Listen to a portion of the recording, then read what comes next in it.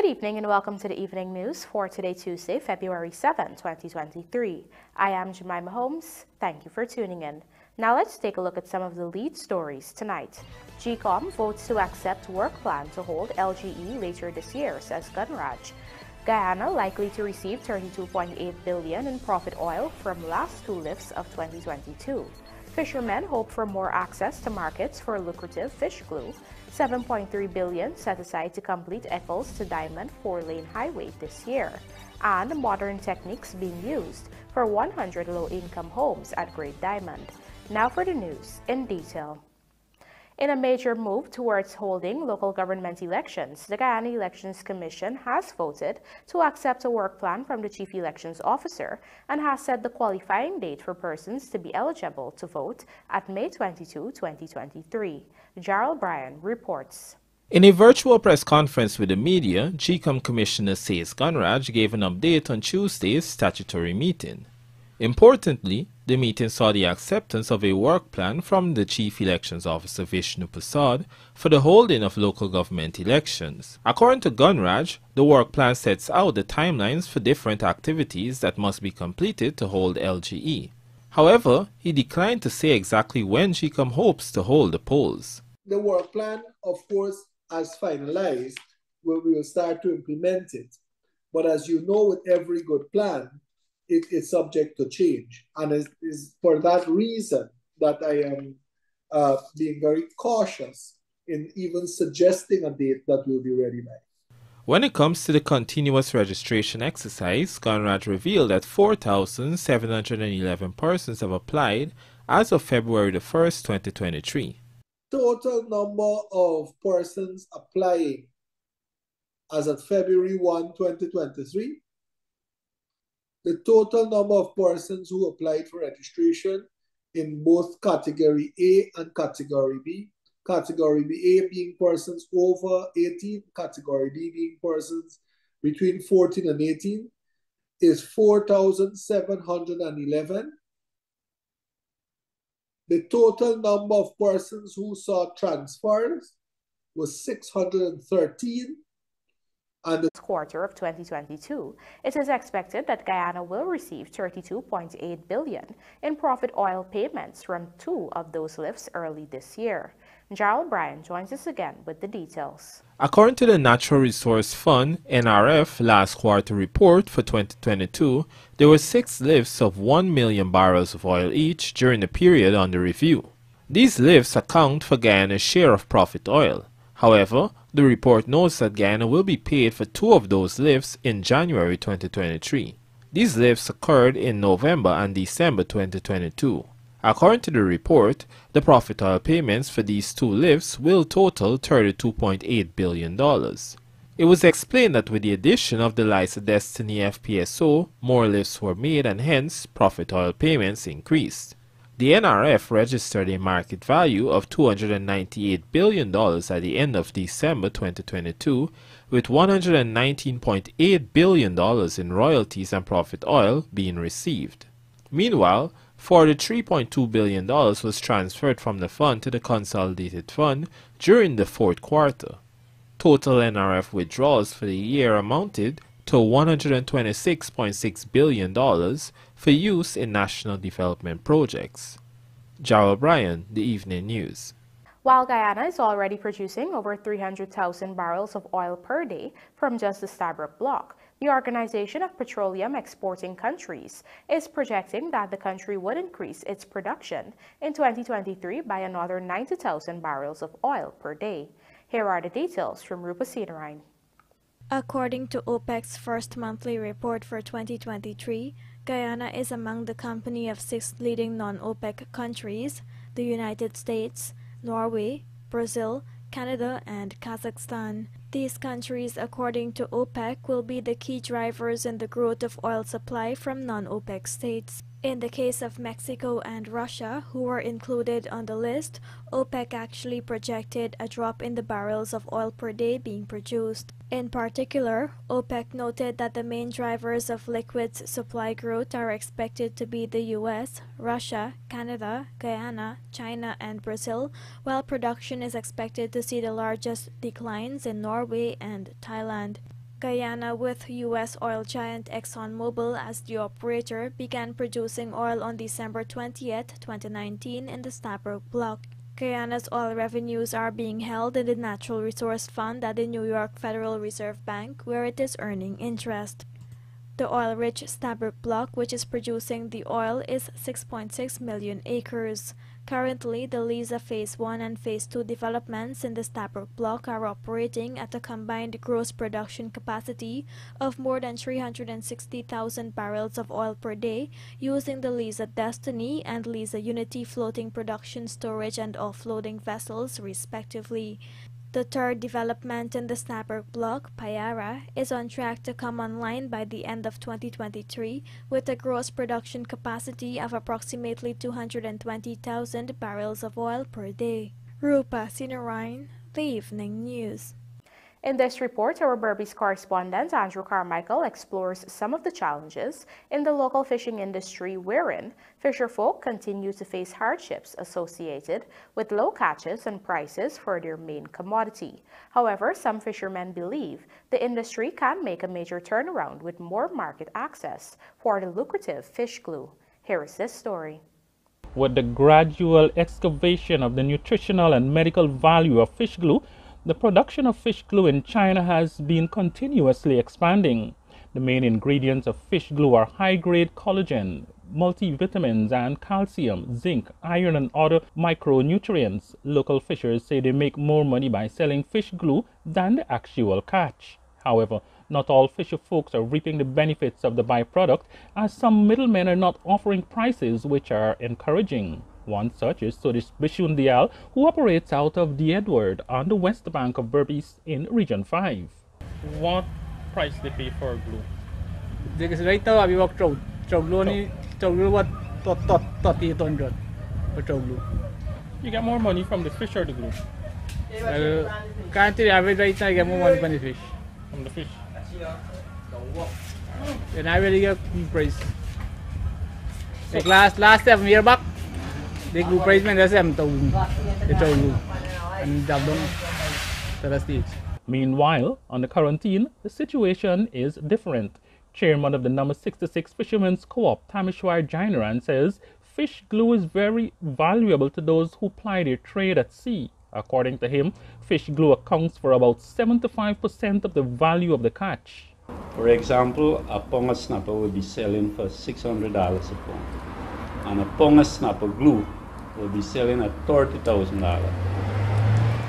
And uh, yes, you, as you mentioned earlier, when piracy was um, was rampant, the the pirates pirates were looking to take the um, fish glue because a 50 pound of fish glue would value anything like over five six hundred thousand dollars, seven eight hundred thousand dollars, depending on the current price. And then you have to get ten bag fish to or a thousand pound fish to get that same value. However, the price offered depends on the type of fish it comes from, with snapper by far attracting the highest prices. According to some local fishers, they would get about $18,000 per pound of snapper glue. For the lung of the smallest snapper, the offering price starts at $12,000 per pound and goes upwards depending on its size. However, no other fish attracts that price. The price offered to the fishers for the glue from trout is $3,800 per pound, and for bangamary and butterfish, it is $1,200 per pound. Jainaran explained that the fish glue is being sought after by buyers in Asia. He believes that more markets can be opened up to allow local fishers to benefit. Research shows that in 2019, China imported 1,395 tons of fish glue, with Australia accounting for 98% of the total import volume. Harvesting of the fish glue is done immediately after the fish is caught and brought onto the vessel and is placed into ice even while still at sea. Buyers are informed of available fish glue on a boat even before the boat arrives and make themselves available for immediate purchase. I fished previously before I, I become uh, the part of the fisherman co-op. I was a, I was a fisherman. Uh, I never captained but I was used to work on the when you when you cut the fish, you cut the fish, and then you take out the glue, and it's been iced separately in the ice. What's the glue? Yeah, it's the lung of the fish. You get a scientific name for it, um, so we never really go into that. Just like how wholesalers come or middlemen come to buy the fish in large quantity, they are buyers at the landing site, at the wharves that, that uh, buy the glue. And uh, what we have to understand, if we are, for example, at our landing site at Upper County, there are four buyers of glue. And the glue all end up to China all of them supply Chinese market. Some export directly to China, some export to their to their to their um, colleagues in Georgetown. Some sold to the colleagues in Georgetown who then export to China. And it's it's it's and then again the price go up and come. Sometimes there is huge demand, sometimes the price drop. For example, um, now the price is around twenty thousand dollars. They had a time when it, it reached thirty-two thousand dollars. He explained that the fish glue is graded for quality and size before a purchasing price is agreed upon. Meanwhile, fish vendors also benefit from harvesting of the fish glue by offering to clean the fish for their customers. The vendors get paid twice for doing so for the fish they sell to the customer and then for the glue separately. Andrew Carmichael, The Evening News. Coming up, industry man found dead in trench and cop on 1.6 million bail for killing colleague fisherman at Mahaicony. Do stay with us. More news ahead.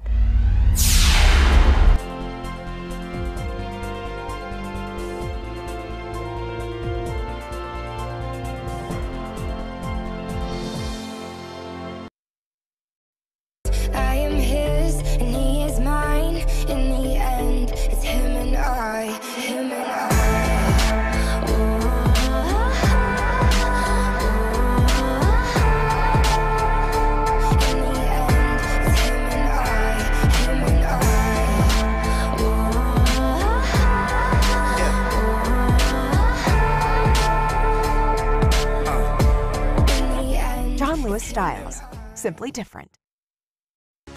Attention homeowners and contractors. When it's time to add the finishing touches, tiles must be on your list.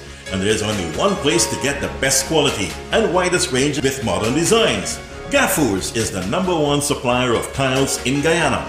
We've got floor and wall tiles, ceramic and porcelain tiles, stone slate, terrazzo stone, mosaic tiles, and all the accessories including tile trim, spacers, sealers, cleaners and polishers. Also the important thin set and grout. At Gafoors the options are endless, but we make it easy for you with the experts in our tile department. They are to assist you in making the right choice. Get the right tiles at the right price from Gafoors Macdoom Mega Complex or the outlets at Parika, Neens, Land of Canaan, Bedford Wacting, Rose Hall, Canje and Diamond. Gafoors for all your tiling solutions.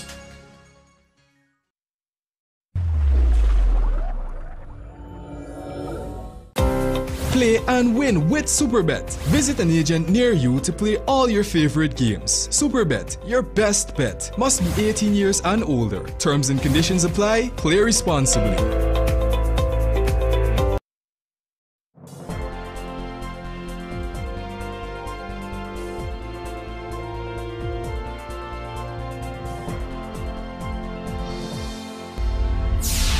Welcome back. You're watching the evening news.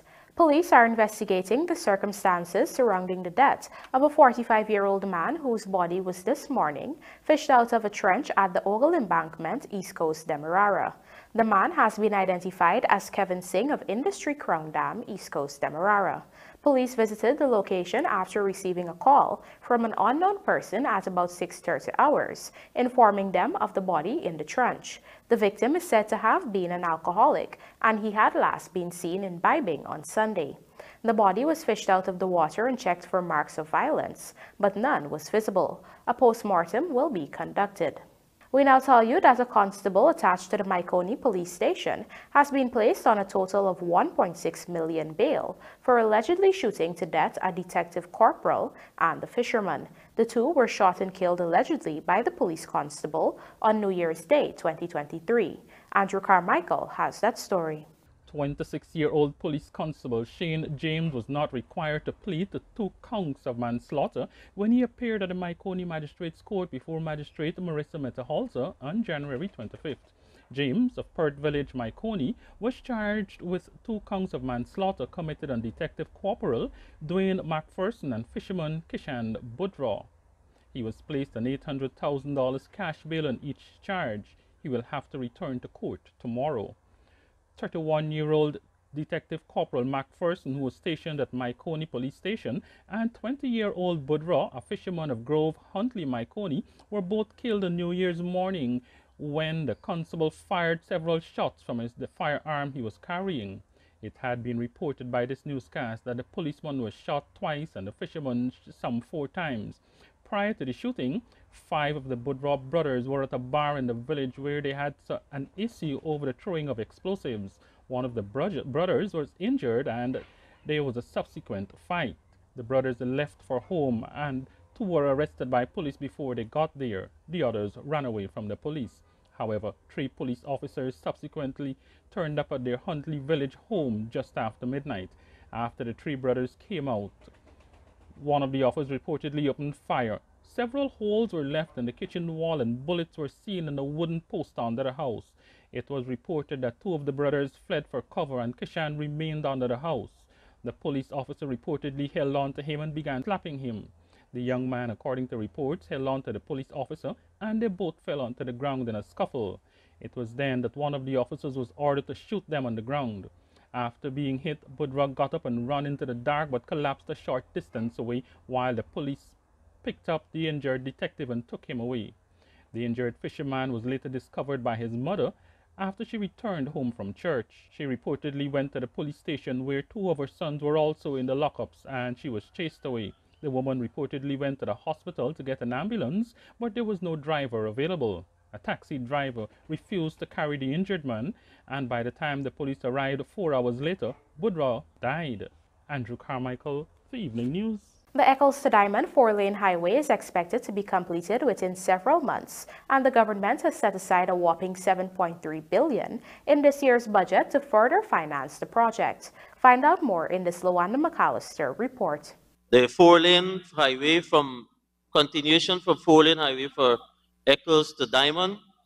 Mr. Chairman, this sum represented of $7.3 billion is to complete the four lane. That was Minister of Housing and Water Collin Croal during the consideration of the budget estimates last month. Contracts totaling $13.3 billion were in December 2021 signed to construct the highway from Eccles to Diamond. The project was divided into 12 lots, stretching some 9.4 kilometers. During the signing, it was revealed that the project timeline was 18 months, commencing January 2022. Meanwhile, during the budget considerations, Minister Croal also revealed that $5.5 billion has been set aside this year towards the Schoonord to Crane four-lane highway. The total project cost is $12 billion and already 2.7 billion has been expended. The project has a completion date for next year. Meanwhile, the housing minister also provided an update on works ongoing at the Eccles Landfill Road. There are three portions. One from that is catered for from the Windsor Estate that will go to the public road. One is catered from Windsor between the four lane to Windsor. And then there's another portion which is beyond now, we're entering in the vicinity of where the landfill is. That portion is not being done under Central Housing and Planning Authority. In fact, that is going to be catered for through Public Works, and that is part of the construction that will be done, or the road alignment that will be done from the Ogle to Eccles Forest Phase, and then, of course, the Eccles, that landfill road, it will be one of the main um, conduit point, one of the main access for that East Coast four-lane road. In terms of the two work, the work that is ongoing there that you see now, that uh, the funds for that is being done from the remaining funds for that is being done through the housing funds, not from your this year budget. Lawanda McAllister for the evening news. Creating a connected Caribbean and harnessing the true power of digital technologies have been limited due to several challenges, but expanding connectivity rapidly is needed to raise the region on the international platform. Prime Minister Brigadier Retired Mark Phillips shared this position at the Canto 39th Annual General Meeting, Conference and Mini Trade Exhibition in Suriname. Rupa Sinarine tells us more. Globally, it has proven that countries with the highest level of competitiveness have highly advanced ICT sectors. Prime Minister Mark Phillips said this suggests a direct correlation between ICT and a robust economy. As such, he said the work and contributions of stakeholders in the ICT industry must be considered critical in the global economy through broadening the reach of technologies such as high-speed internet, mobile broadband, and computing. Prime Minister Phillips acknowledged that among the challenges, countries in the region face obstacles to digital transformation due to limited access to affordable infrastructure. Therefore, he said stakeholders must seek to expand access and connectivity as rapidly as possible in order to harness the power of digital technologies. This will enable citizens' full participation and maximize beneficial participation in regional and international markets for countries. Canto is a non-profit association made up of operators, organizations, companies, and individuals in the telecommunications sector focusing on IT issues for the region. A first-of-its-kind project to construct 100 homes at Great Diamond on the east bank of Demerara is being realized by using modern techniques that are now being introduced to Guyana. Here is Rupa Sinarine again with the details. Housing Minister Collin Croal on Monday visited the construction site where some 50 low-income and 50 moderate-income homes are being built. South Atlantic is constructing the moderate-income homes utilizing reinforced concrete foundations and blocks made only of recycled plastic. These homes measure 600 square feet and cost $5.9 million each. The low-income units, measuring 600 square feet, are being constructed by Visionary Builders and Services Incorporated, using materials such as metal sheets and concrete. Each unit costs approximately 5.5 million Guyana dollars. The company would have secured the contract coming out of Building Expo 2022. These structures are modern and typically built in areas to withstand harsh weather conditions. Housing Minister Collin Croal explained that this project commenced in October 2022 and by March all of the low-income structures will be completed and ready for buyers. But this type of house is different. As you can see, uh, the type of wall that is being used. In fact, they're, they're, they're using the metal sheet and then plastering it with um, concrete. Uh, so we expect the first 26 houses to com be completed by the end of this month. You see this, it's already framed here, so they're actually doing the internal. And then, so these houses will be going at $5.5 million. By the end of March, we expect the other uh, 24 to be complete, and that makes it 50. The housing minister explained that once completed, persons who have already pre-qualified for a housing unit will be able to benefit. We have a pool of persons who have already pre-qualified for low-income funding houses, and so we'll be making this available immediately, and that's why I came out here to see the progress, um, how it's proceeding, and so we'll see the response from the market, and then we'll know if we can have another phase two. Rupa Sinarine, The Evening News. And now for a look at the bridge reports. The Demerara Harbor Bridge will be closed to vehicular traffic on Wednesday, February 8th at 4 hours 15 for a period of one and a half hours. Meanwhile, the Berbice River Bridge is scheduled to be closed on Wednesday, February 8th at 6 hours 5 for a period of one and a half hours.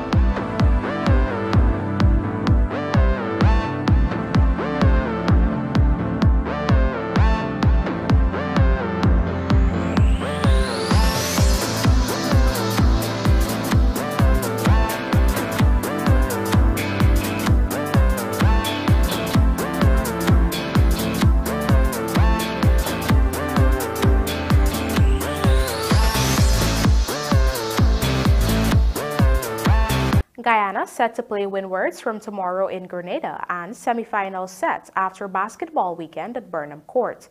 Details of these stories in the Sportcast sponsored by MACORP coming up on the other side of the break.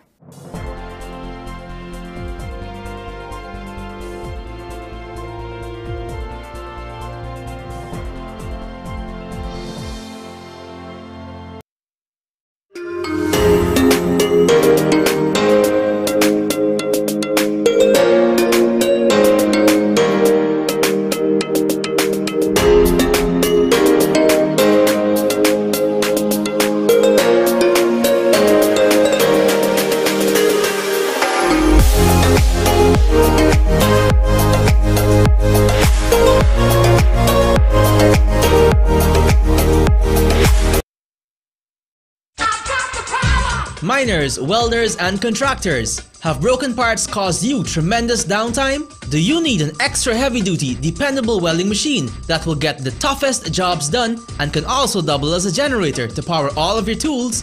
Well, your number one industrial solutions provider Sylvies has you covered. We currently have in stock the Hobart Champion Elite Arc Welder and Generator. This capable electric start generator produces up to 11,000 watts of AC power to run tools, work lights, or backup power during an outage. It can simultaneously deliver 150 amps weld output and 8,000 watts of generator power and can run up to 14 hours on one 12-gallon tank of gas. This portable generator handles mild steel, stainless steel, and cast iron iron with a maximum thickness of half inch in a single pass. So what are you waiting for? If you can't make it our 31 High and Hatfield Streets Georgetown location, we can deliver. Give us a call on 227-6226 or WhatsApp us on 623-7755 or visit our website sylviesonline.com. Sylvie's Industrial Solution, proudly serving Guyana for over four decades. Looking to bring your dream home to reality? Or simply taking on a home improvement project? Then National Hardware Limited is where you should start. Let us put that touch to your home.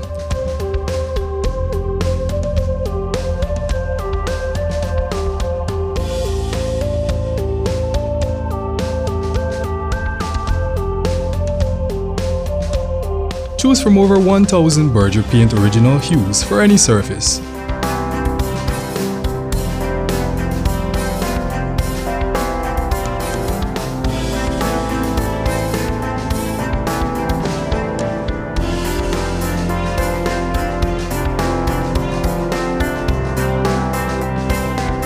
We are known for our trusted brands such as Westinghouse, Philips, Sadco, Rubbermaid, Pyrex, Gibson Home and so much more.